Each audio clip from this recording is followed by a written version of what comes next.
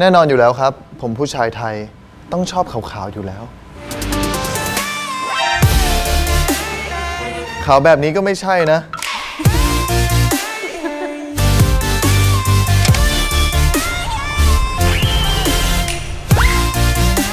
ถ้าขาวแต่ใช้ชีวิตลำบาก ผมว่ายังไม่ work นะ ผมว่าเขาควรดูแลตัวเองได้และ happy กับชีวิตเขาด้วยนะ ผู้หญิงที่ขาวแล้วดูสุขภาพดี ยิ่งเวลาโดนแสงแล้วเปล่งประกายเนี่ยนี่แหละมีเสน่ห์ที่สุดเลย ผู้หญิงเดี๋ยวนี้แค่ขาวอย่างเดียวคงไม่พอแล้วล่ะครับ ต้องกระจ่างใสเปล่งประกายและดูสุขภาพดีด้วย